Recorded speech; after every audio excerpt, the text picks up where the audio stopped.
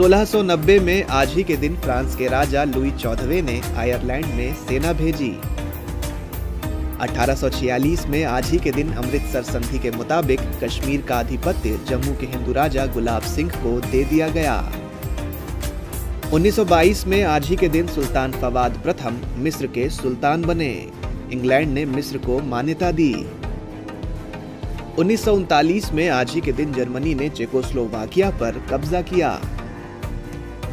उन्नीस सौ उनसठ में आज ही के दिन इराक और सोवियत संघ ने आर्थिक एवं तकनीक समझौते पर हस्ताक्षर किए।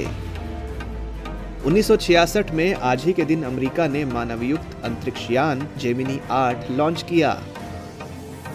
1976 में आज ही के दिन 8 सालों तक ब्रिटेन के प्रधानमंत्री और 13 वर्षों तक लेबर पार्टी के नेता रहे। हेरल्ड विल्सन ने त्याग पत्र देकर सबको चौंका दिया था। उन्नीस सौ पंचानवे में आज ही के दिन नासा अंतरिक्ष यात्री नॉर्मन रूसी अंतरिक्ष स्टेशन मीर का दौरा करने वाले पहले अमरीकी बने। 2006 में आज ही के दिन संयुक्त राष्ट्र की महासभा ने संयुक्त राष्ट्र मानवाधिकार समिति के गठन के लिए सर्वसम्मति से वोट दिया।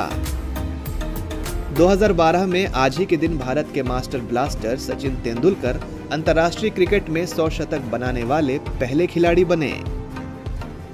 और आज ही के दिन 2014 में क्रीमिया के लोगों ने यूक्रेन छोड़कर रूस में शामिल होने के पक्ष में मतदान किया।